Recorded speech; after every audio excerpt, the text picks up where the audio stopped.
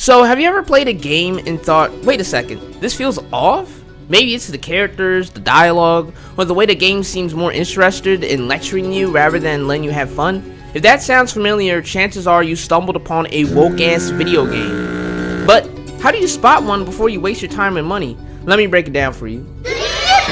So before we get into it, you may be asking, why does it matter? Are woke games really that bad? And the answer is yes! Yes they are! Woke ass games care more for pushing a message or pushing a narrative down your throat rather than making fun gameplay. That's why most of them end up being utter garbage no one wants to play. The creativity and the soul is lost from these games. Everything is sanitized and lame now thanks to this shit. So I want to teach you how to spot it so you never waste your time.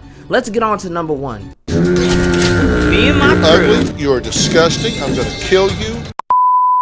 Now, this one's the easiest one to spot out because it's right in your face. Forced diversity and ugly ass characters. In 2024, we've seen a lot of that. Just look at Dustborn and Concord. One of the main reasons why these games failed is because no one wants to play as unappealing looking ass characters. That joint is not uplifting, it feels gross to play as them or even look at. And now we have to talk about forced diversity. And honestly, this shit is so boring. It's like Bruh. every TV show and game does this now. We're talking about race swaps, gender swaps, pronouns, gay inclusion. I'm telling you, this stuff is not authentic. They're just doing it to check a box. And because of that, the quality of products have gone down because they're too involved in the message. But people are starting to wake up now because this shit is ass. And it doesn't make the products better in any way. Excuse us. How old is she? Um, they are 15 months old. We actually use they them pronouns for gray until they oh. tell us who they are. That's why you were like, who, what? Oh, oh wow. Okay, so they. They. Uh-huh. We are pulling apart this idea of sex, which is related to genitals, and gender. Okay, yes, if your game has pronouns in it, it is considered a woke-ass game because it's pushing modern-day nonsense onto the masses. Like I'm telling you, this stuff was not a thing a few years ago. Your pronouns are already picked when you chose a male or female character. But nowadays, the world is so upside down, some people think they could be anything now. That just makes no fucking sense. I mean, it's just bullshit. And these same exact people are making our games or believe in that fairy tale nonsense. But those days are coming to an end. People are outright avoiding the new game of Avowed just because of the pronoun joint. Then on top of that, the whole country of America woke up and outright said they're tired of the joint as well. Pronouns are woke as hell.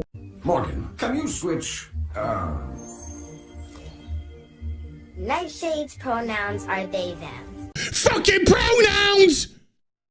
Or she just doesn't fit who I am. Not today.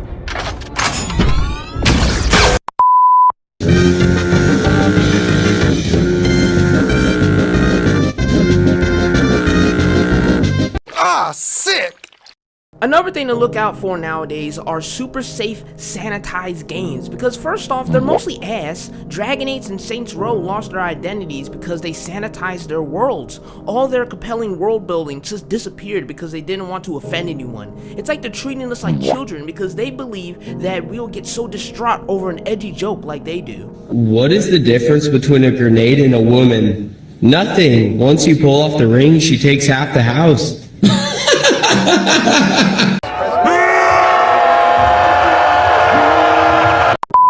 and this shit ruins games because it makes them feel hollow and artificial. I mean, god damn, it even ruins mm. comedy because this shit is not funny in the slightest. Sanitized video games should be made for children, not my $70 mature rated dark fantasy and gangster games. Why are you gay? Now, this one you have to go out your way for, but when you check a company's social media page, you can decipher if their game's going to be woke or not, because you'll start seeing patterns. For example, look at Avowed's Twitter. This game is being made by a bunch of ugly progressive goblins. The same thing is happening at Ubisoft. That's why their company is burning down to the ground right now. Then on top of that, their official Twitter account is blocking people who have criticism or questions about the game.